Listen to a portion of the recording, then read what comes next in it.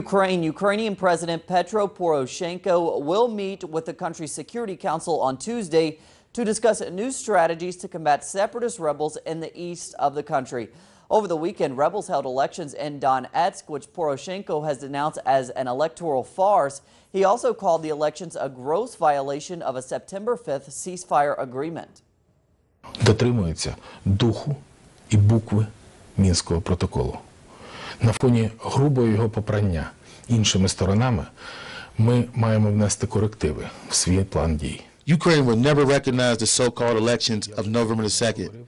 We cannot respect an electoral choice when it was no elections, not by fact, nor according to law. Not a single country in the world which respects itself and international law can recognize these so-called elections. The farce is already condemned by the European Union, United States, and dozens of countries that are Ukraine partners. Закону про особливості місцевого самоврядування в окремих районах Донеччини та Луганщини.